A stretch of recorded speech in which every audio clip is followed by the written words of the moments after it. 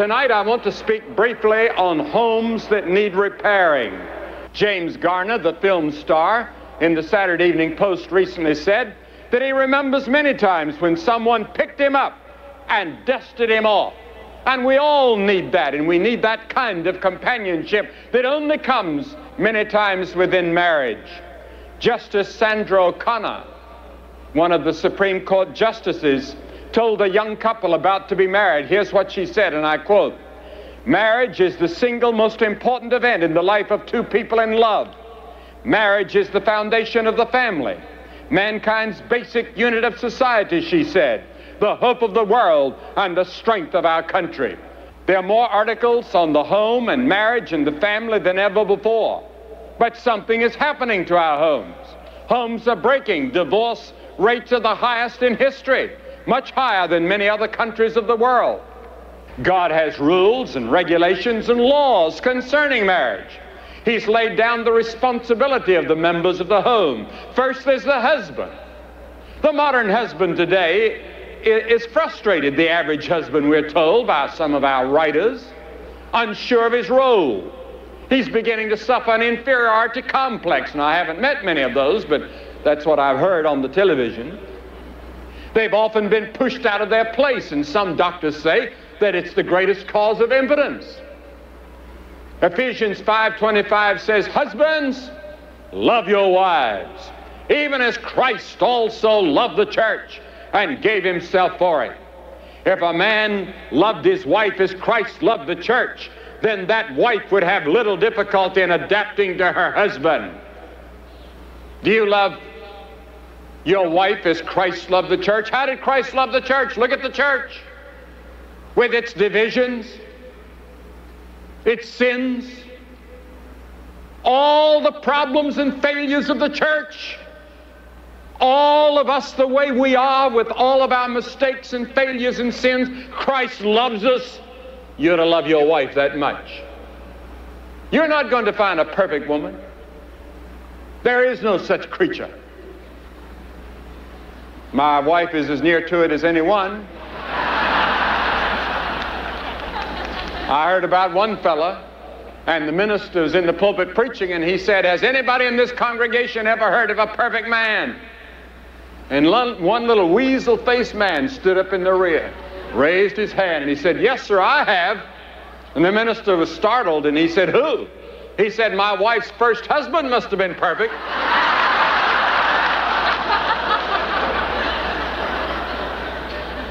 Yes, we're to love our wives as Christ loved the church. And I'd have some suggestions. You know, wives or women like the little things count with them. Show your love. Show your love. And then the wife on this business of submitting the scripture says in Ephesians 5:21 submitting yourselves one to another one to another in the fear of the Lord there are certain things I submit to my wife there's certain things she submits to me. Christ loved the church and gave himself for it. The church is to return that love. The husband is to love the wife as Christ loved the church, so the wife is to return the love to the husband. Ephesians 5:22 should be translated wives adapt yourselves unto your own husbands as unto the Lord. 1 Peter 3:1 in the Living Bible reads, wives Fit in with your own husband's plans. For then if they refuse to listen when they talk when you talk to them about the Lord, they will be won by your respectful, pure behavior. Your actual lives will speak to them better than any words. In other words, don't always be nagging your husband. Even if your husband happens not to be a believer, don't nag at him. Just live the life in front of him and let the Holy Spirit produce the fruit in your life, and that'll have more effect on him than you're talking to him and nagging at him. I don't know whether that's the ladies or the men.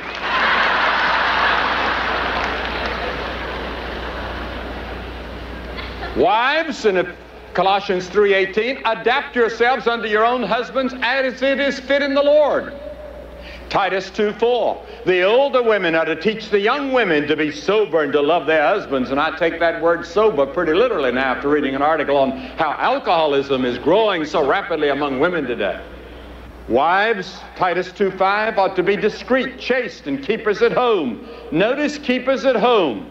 Unless there's a real financial need, that is her first responsibility. It's all right for a white wife to work before children and after they're grown. Now, there are exceptions, I know, where the wife has to work in these days. But if the wife does not lead this kind of a life, the scripture says her prayers can be hindered and the word of God can be blasphemed. Only Christ can help you to be the kind of mother and wife you ought to be. Now, suppose you have already been divorced. What should you do? Well, you cannot unscramble eggs. Go on from where you are. Surrender to the Lord totally and completely. Ask Him to forgive the mistakes and the failures and the sins of that first marriage. And then ask Him to lead you. And if you're the innocent party, you have a right to be remarried. And if you have doubts about it, go see some, your clergyman or some Christian advisor to help you and counsel you. But don't let it hang over you like a pall all of your life and destroy your life. Ask God to forgive. Now, a word to parents. I would like to say this to parents take time with your children. That's one of the regrets I have. We have five children and 15 grandchildren. I'd certainly hate for these 15 grandchildren to grow up and say they never knew their grandfather.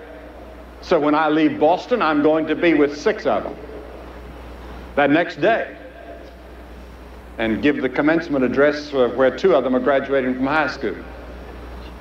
And I'm going to spend three or four days with them. Then I want to try to get to every one of the families and spend several days this year with each one of our families. And ye fathers, bring them up tenderly in the training and counsel of the Lord.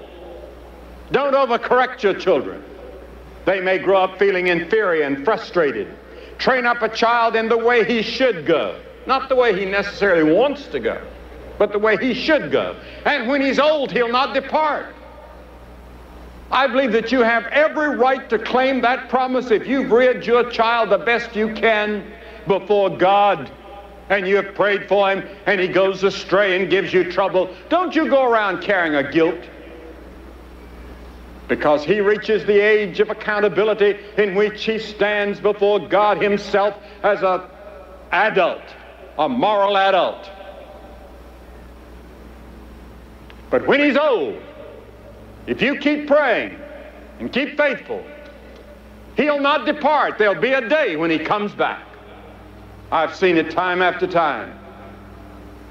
Oh, yes, sometimes we have to discipline our children.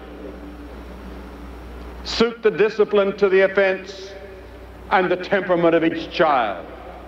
Now, the responsibility of children, of course, young people here, is to obey your parents in the Lord unless it interferes with your personal relationship with Christ. And we're always to honor our parents. Honor thy father and thy mother even if it, they're not honorable. We're to honor them. That doesn't mean we always obey them, but we're to honor them. Always honor your father and your mother. We, are, we have friends at the Mayo Clinic. He's one of the greatest doctors, I think, in the world. He was President Lyndon Johnson's doctor. And he's had 43 years of happy Christian marriage. I don't know a finer Christian home in the world than Dr. Jim Cain's home where we often go. 44 years of medical practice at the Mayo Clinic. And he's written, every worthwhile medical history requires knowledge and understanding of a patient's family. Thus, it requires a marital history in order to understand the physical well-being of a person. And he makes several suggestions. I want you to listen to what a medical doctor at the Mayo Clinic said. He said, first, vocally and frequently declare your love to your spouse. A discreet pat or a squeeze of the arm or just a look can secretly say, I love you. Second, make your spouse happy. This is your most important job and function in life. His or her happiness is more important than your monetary related job. And he said, don't be afraid to be silly with each other in your thoughts and dreams and otherwise. You can't be silly and let yourself go with anyone else. Thirdly, never even look at another man or another woman. Fourthly, never do anything that you anticipate will be fun without including your spouse. Fifthly, plan and do extra and unexpected things together. Sixthly, if away from home, contact your spouse every day with a postcard, a letter, or a telephone call. Seventhly, never criticize your spouse to others. Save your best manners and your greatest consideration for your family. Eighthly, plan and arrange time alone with your spouse. Get away from the children and friends for a date each week and perhaps a weekend every month.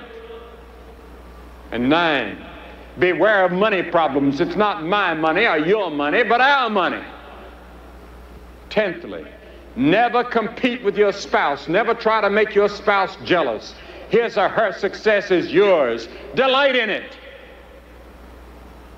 Eleventhly, go to church and read the Bible and pray each night together. Don't ever go to bed at night without holding hands and praying together. You say, Billy, I wish that was all true in our lives. It could be with Christ.